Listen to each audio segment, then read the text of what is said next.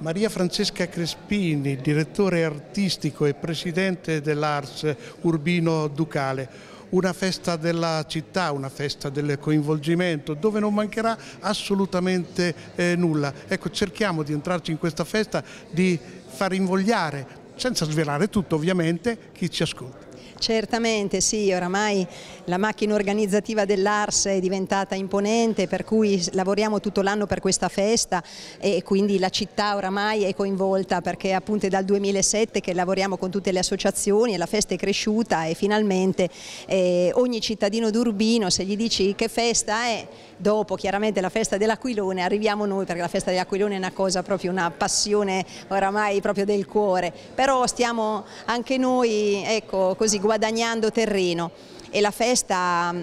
ha questa doppia veste, quella eh, più colta di Palazzo Ducale con il teatro a Palazzo, grandi artisti internazionali, appunto apriamo con Michele Placido e poi appunto la, la, la giornata del venerdì c'è il maestro Barami di fama internazionale, no? il più grande esecutore di Bach e poi Kirossi Stewart che quindi chiude questa, eh, questa mh, mm, tre giorni a, a, Teatro a Palazzo, ma ancora spettacoli. La sarà tutto un teatro. Però poi la città ci sarà veramente la festa, eh, ogni, in ogni vicolo ci sarà qualche animazione, ci sono soltanto per il venerdì 40 spettacoli e quindi dalle 14.30 fino alle 24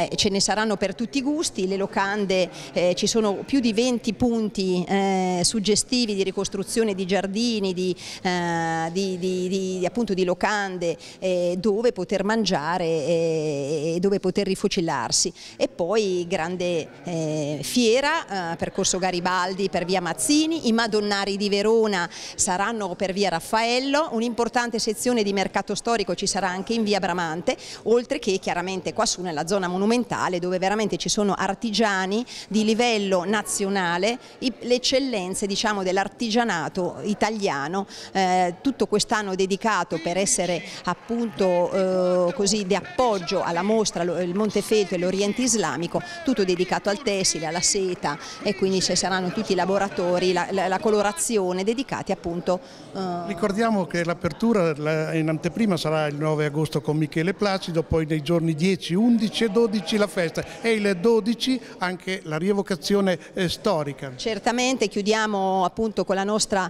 eh, festa, oramai la rievocazione riconosciuta dal MIBACT mh, grazie alla quale poi il Palazzo Ducale ha potuto avere la riduzione del biglietto, quindi chi ha eh, l'ingresso, il biglietto di 5 euro di ingresso alla festa poi potrà entrare a Palazzo Ducale con il biglietto ridotto, alla casa di Raffaello con il biglietto ridotto e anche al Museo Bella Gerit su in Fortezza Albornoz appunto avrà avrà eh, questa riduzione per cui i 5 euro sono, eh, poi si annulleranno perché vanno appunto eh, nel guadagno delle, de, delle riduzioni. Sindaco, ci prepariamo ad una grande festa, la festa della città. Sì, la, la festa del Duca, appunto la festa della città di Urbino eh, che sta crescendo in termini di, proprio di spettacoli, di, di struttura e quindi sta continuando questa grande festa che tutti gli anni si ripropone, quest'anno un po' di giorni prima perché appunto la concomitanza eh, col fine settimana, quindi non, ci, non, non si va a finire al 15 agosto ma finisce due giorni prima.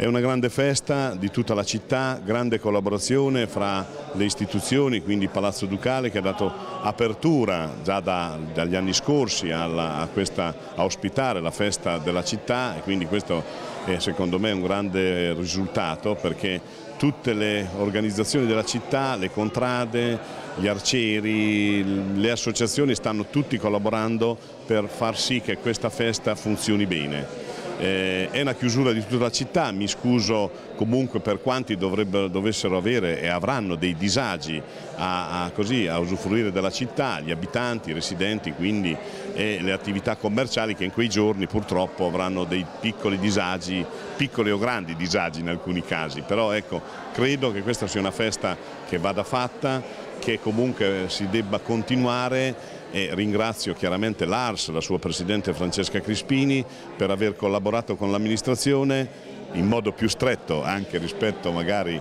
agli anni scorsi perché per le note vicende che ci coinvolgono, però ecco c'è stata l'intelligenza di capire l'interesse della città da parte di tutti, quindi questa è la cosa che mi rende felice.